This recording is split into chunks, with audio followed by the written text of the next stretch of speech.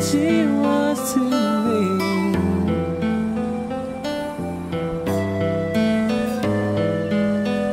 She had eyes like the sun, a voice like the wind, and when she smiled, a rainbow would appear. She had beautiful hair, no one else could compare.